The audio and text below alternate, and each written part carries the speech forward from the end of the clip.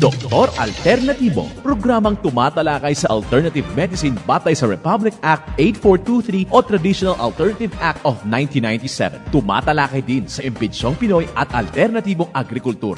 Doktor Alternatibo, the expert in alternative medicine, kasama ang award-winning inventor Doc Ed Dilibo, a doctor of ministry and alternative medicine at DOST Scholar. His formula was awarded and recognized by the Department of Science and Technology, Technology Application and Promotion Institute. Nanalo ng second and third prize as Most Outstanding Creative Research and Utility Modem as anti-hypertensive, anti-diabetic herbal composition, and food supplements that promotes good health during Mindanao Invention Contest and Expo 2009 and finalist during National Invention Contest and Expo 2009. This said formula was awarded by Intellectual Property Philippines Office, Philippine Chamber of Commerce and Industry as finalist of Ambassador Alfredo M. Yao IP Innovation Awards 2009.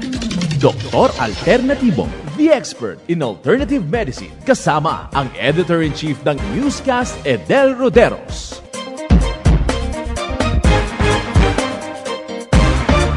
Welcome dito sa palatuntunan ng Doc Alternatibo para sa herbal at natural na lunas. Ako po ay gagabay sa inyo para walang magtitiis ng sakit, kundi maangkin ang kagalingan walang mag-maintenance medication ng synthetic drugs nang maiwasan ang komplikasyon at matuto sa tamang pag-alaga ng kalusugan. Ito ay napatunayan ni Doc Alternativo founder, multi-awarded inventor Doc Eddie Libo na siyang ating sinundan at ipinagpatuloy na advokasya sa alternatibong panggagamot kasama ang inyong national chairman ng One ASAP Movement, Chief Edel Roderos. Pinakauna kapanalig, huwag kalimutan ang pagsasabuhay ng mga banal na salita ng Diyos at ngayong oras ito po ay mula sa James chapter 2 verse 26 at nakasulat. Sapagkat kung paanong ang katawan na walang espiritu ay patay, ay gayon din ang pananampalataya na walang mga gawa ay patay. Ito po nakasulat sa James chapter 2 verse 26. At tandaan kapanalig, mapalad ang mga taong isinasabuhay ang mga banal na salita ng Diyos sa bawat hakbang sa sanlibutan. Minsahi hatid sa atin ng Doc Alternatibo at One Asap Movement. Doc Alternativo Newscast. Dito na naman tayo sa paggabay sa inyo kapanalig para sa tamang pag-alaga ng katawan na hindi masakitin. Kung tinamaan ng sakit, maangkin ang kagalingan. Hindi na magtitiis, hindi na mag-maintenance medication na synthetic drugs upang maiwasan ang posibleng komplikasyon. Kaya pinakauna para mapanatiling maayos ang sirkulasyon ng dugo sa katawan at hindi tayo mamroblema sa pabilabiglang pag-akyat ng blood pressure, sugar, cholesterol, uric acid, hyperacidity, acid reflux, hindi natatama sa inyo, ugaliin na kada umaga pagising unahin ang pag-inom ng tubig. Yung isang litrong tubig, haluan nyo ng isang kutsara na fulvic mineral. Kung nagtitipid, kahit 40 drops na fulvic mineral, dagdagan ng 20 drops na magnesium ascorbate. Then ang kalahati, inumin agad. Wala pang kain na. Ito pagising pagkatapos magmumog, mag-gurgle, ito na ang gawin. Uminom ng kalahating litrong tubig na may halong fulvic mineral at magnesium ascorbate paraan na maiayos ang blood circulation sa katawan na at ang good news dahil nakakadumi na agad pag nasundan to within 10 to 15 minutes siguradong makakadumi ang katawan. So nalilinisan pa yung colon natin na hindi tayo constipated, hindi magkaroon ng colon problem. Kaya napaka-importante na gawin ito araw-araw, pagising. Ito yung responsibilidad sa katawan na matulungan sa maayos na sirkulasyon ng dugo sa katawan. At isa sa patunay na napaka-epektibo ng mga itinuturo natin dito sa Doc Alternativo, narito po ang interview sa kanya. Daw mga dagdaro ka tuig, tatlo ka tuig, siguro ako kanya nga nagagamit kang ah, produkto kang alternatibo. Ang mapuon ko lang, Kapahal man ang nabulig na kanakin. Ang uh, nag-take ako kang fulvic mineral mo. Pag ang ah, kape man nga dae, kag mga iba mga mga produkto man, ti yan, para kanakin, nakakabuligid bala, kag ah, ang strength bala, ang kapaskag bala, naga gaura ko nagakapuli bala kun ma ay everyday ang aking tilad nga obra kun wa mga meeting sabi sa aming nga komunidad naga garden ako. Yung sa kali ma-exceed ay nagawidi ako ka garden mga 2 hours ako kara dyan Nagaso pa panilihin, maati, ang anong palaga slow down na wala ako gid na active sa apostolate namin. May makuha ko lang ah, na mahal iya nabulig na anak ko na isra mga sisters gani. Naga-wonder man nga ako sister Del nga niya ako na daw wala pagkapuyi mga magamukara nga paskut man gihapon. Salamat sa Diyos eh kun ko ay at least may siguro ah, sa, daw gina-attribute ko diya nga ang uh, kuwan ba lang ang ah, ang produkto nga na uh, sabi ang uh, fulvic mineral kag ang kape nga diyan kag iba pa man eh, nga ginaga kun mga kuon mo kay nang haplos nga to do kadali lang man ah kun kun ako kun daw alayan ako nakapuyan ako bala kag tindog kag mag-garden abi pag gabi eh, naga ginahaplos ko lang sa uh, akin nga nawas no tiga dulo alam naman ako ang uh, nga ananakan kag uh, salamat sa Dios eh, nga buhi pa kita eh Yes. yes. nga salamat din ay nagkita ay kita kada Pre, ba sa kaepektibo ng mga itinuturo natin dito sa Doc Alternativo si Sister Delia Mascolino from uh, San Jose Antique na sabi niya napanatili ang malakas na pangangatawan. Walang maintenance medication na synthetic drugs dahil araw-araw sinusundan ang itinuturo natin na pag-inom ng tubig na may halong fulvic mineral, uh, umiinom ng corn, coffee at iba pang produkto ng Doc Alternativo meaning ano yung mga itinuturo natin talagang uh, sinundan niya at ngayon maraming nagtataka na mga kasamang madre na ba't uh, lumalakas lagi ang kanyang katawan hindi masakitin. Uh, kaya sundan po ninyo kapanalig upang mapanatili rin ang malusog na pangangatawan. Uh, puntahan pinakamalapit na Doc Alternativo branch upang kayo ay magabayan. Sa mga tinamaan ng sakit nag-maintenance medication ng synthetic drugs pero pabalik-balik pa rin ang sakit. Yung iba tinamaan na ng komplikasyon. May papayo ko po sa inyo sundan agad ang cleansing program at natural megadose vitamin C IV dito sa Doc Alternativo upang mahinto na safe ang maintenance medication ng synthetic drugs at uh, ibalik ang malakas malusog na pangangatawan. Huwag nyo nang hintayin na lumala pang komplikasyon. Kaya napaka-importante na makapunta sa branch upang maipaliwanag sa inyo kung paano sundan ang cleansing program na maging pagkain, inumin na, maging gamot nyo na. At nakaschedule din ang Natural Megadose Vitamin C IV. Patunay sa kagalingan na sinasabi natin dito sa palatuntunan, narito po ang nag-undergo sa cleansing program at Natural Megadose Vitamin C IV.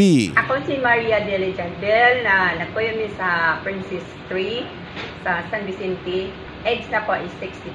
Ano po yung mga sakit mo noon? Meron ako mayuma, cancer sa atay, gallstone, Mm. at saka yung heart failure ko. Nawala lang. Kumusta po? Ano pong nakatulong sa inyo? Mm, nakatulong sa akin dito yung nag, ano lang po, nag-cleansing lang ako. Good for 3 days ata. Nawala yung gallstone ko. Wow! Yes. Ah, Tapos, paano po nangyari? Paano pong anong Sinunod nangyari? ko lang ang protocol na lahat na ininom ko yung sabi ni Dr. At lumabas pa po yung Lumabas gallstone? yun sa akin kasi wala yung kanin kasi ano lang fruits at saka yung saging. So, hindi ka na operahan? Hindi. Wala yung Wala presyo? talaga. Kasi Wow. yellow na ako eh. Lahat-lahat sa katawan ko yellow na ako. Pero nang nagsimula kami, pumili kami dito Sabado, tapos pagkalinggo, si, Hmm. sinimulan ko na yung uminom. Linggo, ano, linggo, tapos lunes at martes. Yung martes, yun talaga.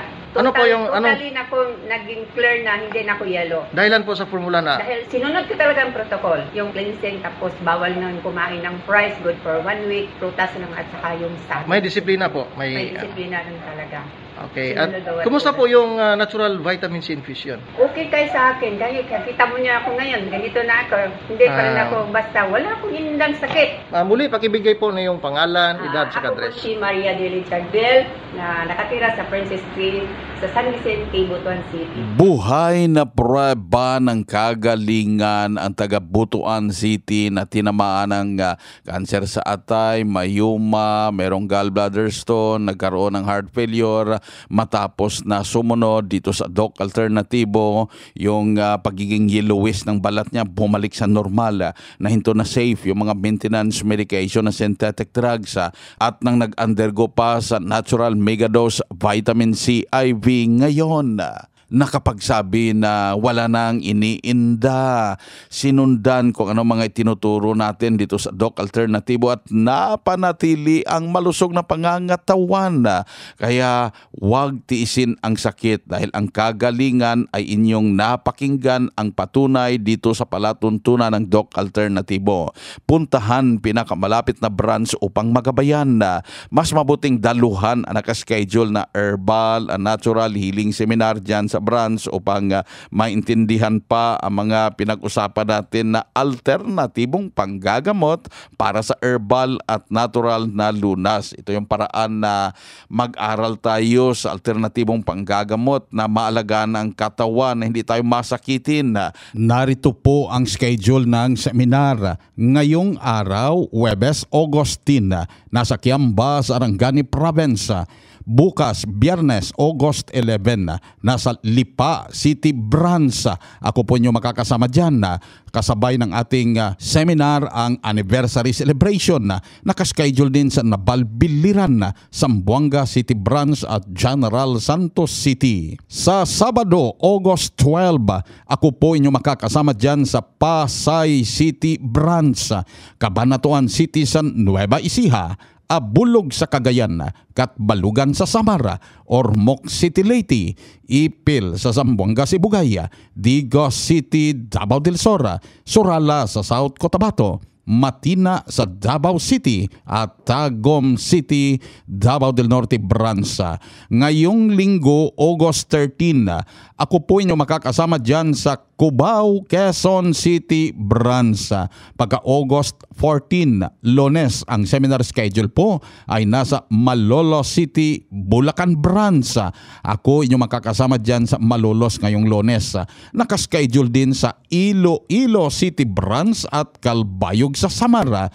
August 15, Martes, nandyan po ang schedule ng seminar sa San Jose Antique at Tacorong City, Sultan Kudarat Branch pagka August 16, Miyerkules.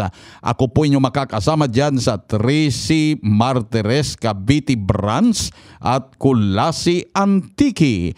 Abangan ang iba pang schedule ng seminar.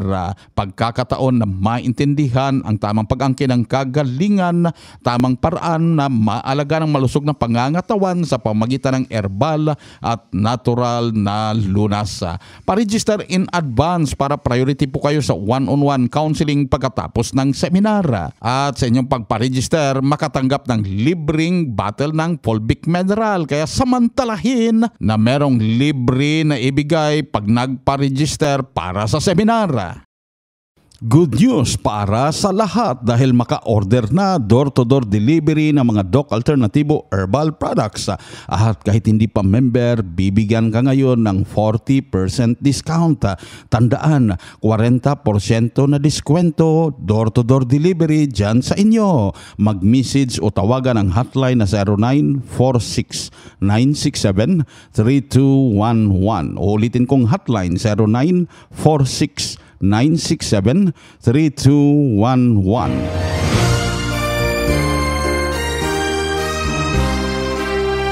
Congratulations sa lahat ng mga members, employees, advocates at believers ng Doc Alternativo.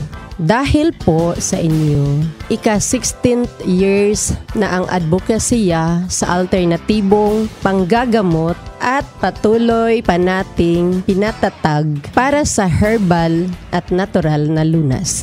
Ang tiwala at patuloy ninyong pagtatangkilik ay lalo pang nagpalakas sa Doc Alternatibo na maihatid ang kagalingan, malusog na pangangatawan at matiwasay na pamumuhay sa bawat Pilipino. Kaya ngayong 16th years, meron tayong daily anniversary promo. Buy one, take one. Lalo na ang buy one, take two promo. At napakalaking discount sa mga natural healing services tulad ng cleansing formula, mega dose, vitamin C IV, at mas pinapalawak pa ang livelihood program sa mga members at distributors. Ito po ang inyong Doc Alternativo Finance Head. Inventor Magdalena Dilibo. Patuloy na nagsasaliksik at gumagabay sa inyong lahat para sa mas epektibong alternatibong panggagamot para sa herbal at natural na lunas. Dalangin ko ang kagalingan at masayang buhay ng bawat Pilipino, lalo na sa mga One ASAP members at believers ng Doc Alternativo.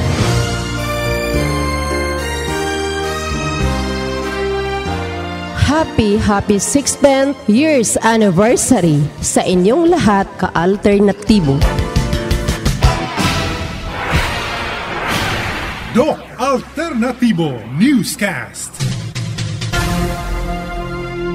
Dito tayo sa pagpapaliwanag sa inyo tungkol sa alternatibong panggagamot para sa herbal at natural na lunas, mga paraan sa pagsagot sa health concerns. Narito po ang gabay na siyang ating sinundan at ipinagpatuloy na advokasya sa bawat branch ng Doc Alternatibo sa buong Pilipinas mula sa founder at multi-awarded inventor na si Doc Ed Dilibo. Isa sa tanong dito, Doc Ed, lagi pong humihilab sikmura ko at hindi po ako nakakadumi ng araw-araw. Ano pong dapat gawin at ano yung mabuting kainin? Una, ang constipation, meron pong formula kung bakit may constipation like too much rice, less water sapagkat nasanay po kayo sa itinuro ng ating mga teacher sa 3 times a day na eating pattern. Rice umaga, snacks, then rice sa tanghali, snacks na naman, then rice sa gabi, snacks na naman.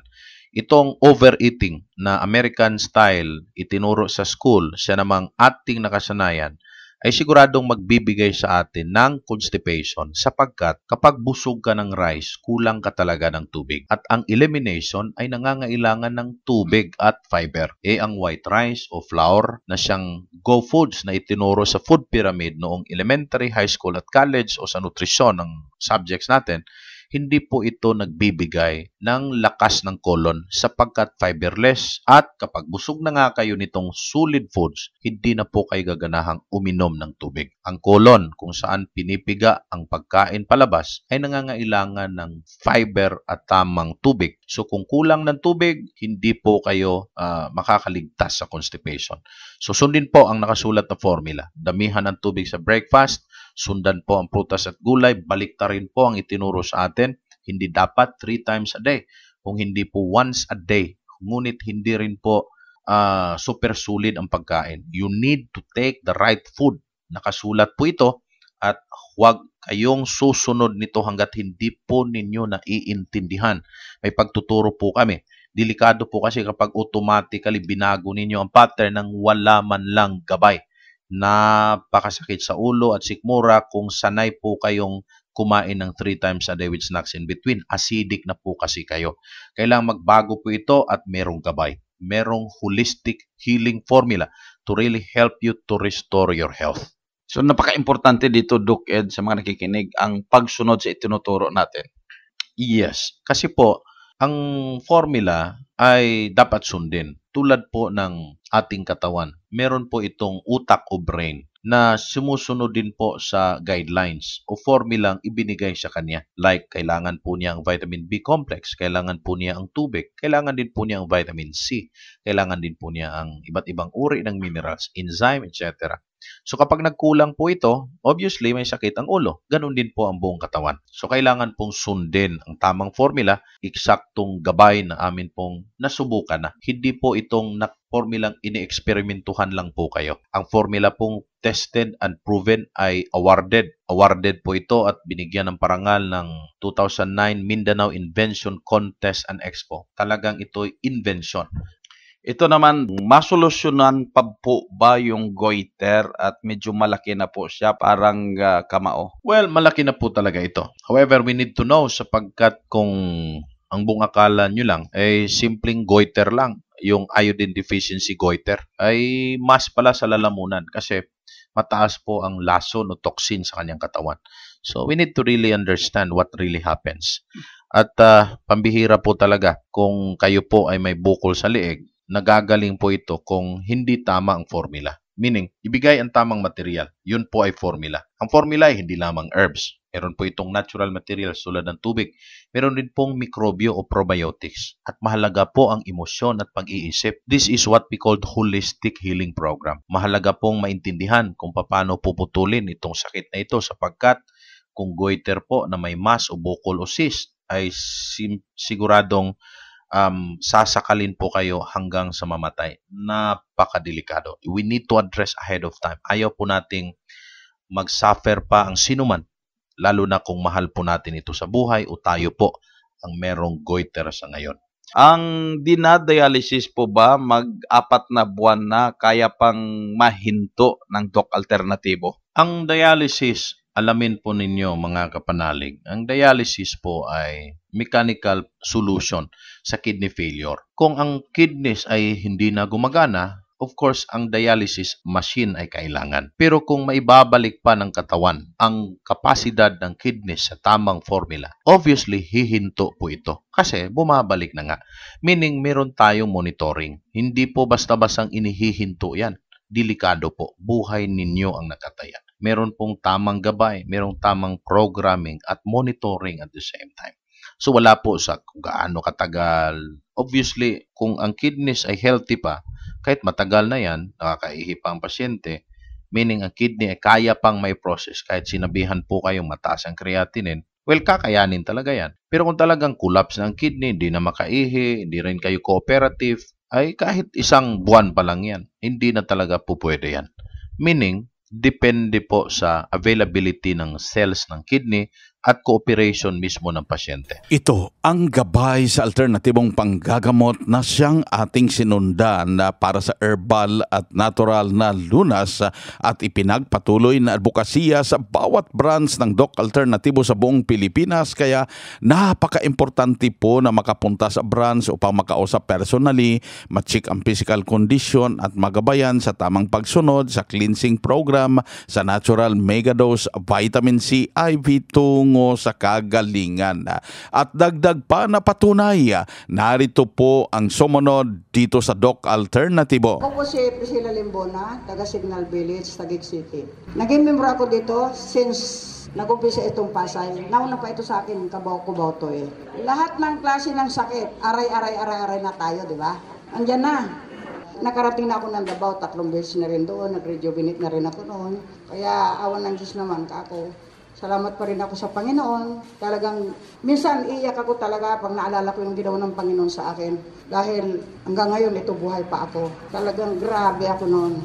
Sinunod ko ang protocol dito. Three weeks, tuloy-tuloy yan.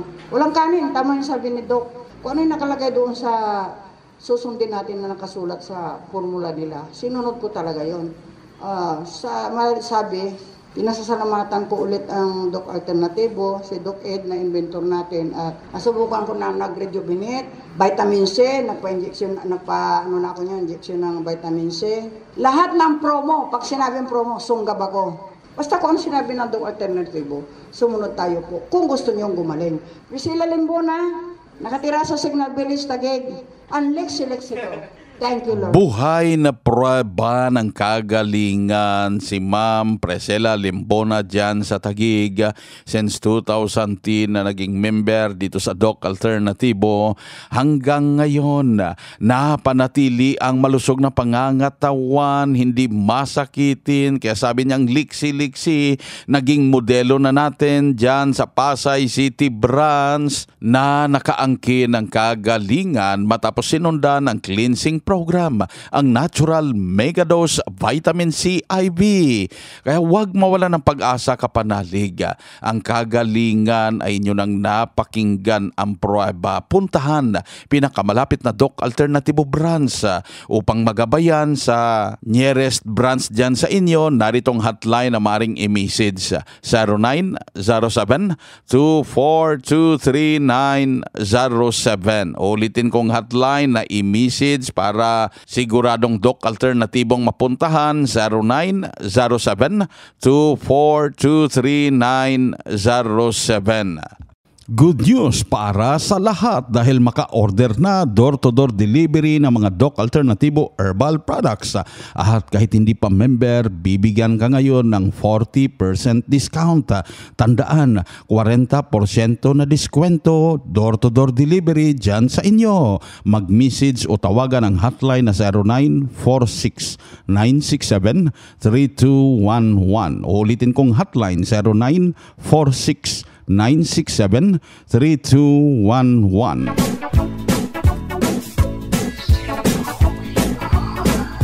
Kapanalig dahil limitado ang oras dito sa palatuntunan sa radyo dahilan na may limitasyon ang paggabay sa inyo para sa herbal at natural na lunas uh, upang matuto sa tamang pag-angkin ng kagalingan, tamang pag-alaga ng katawan na maging malusog, hindi masakitin. Uh, daluhan mo ang nakaschedule na herbal and natural healing seminar dyan sa Doc Alternativo Branch.